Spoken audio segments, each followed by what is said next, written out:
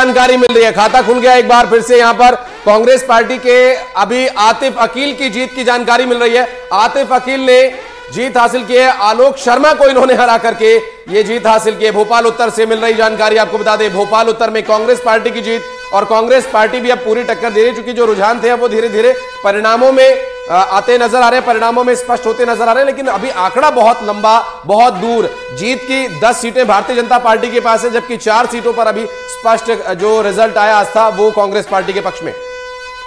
और इस बीच आपको महत्वपूर्ण जानकारी, एक ओवरऑल डेटा जो अभी तक आंकड़ा निकल के जो तस्वीर उभर रही है, वो आपके सामने हम रख देते हैं। वर्चुअल ग्राफिक्स के माध्यम से आपको दिखाते हैं कि अभी तक जो आंकड़ा प्राप्त हुआ है, उससे कैसी तस्वीर बनते हुए नज़र आ रही है।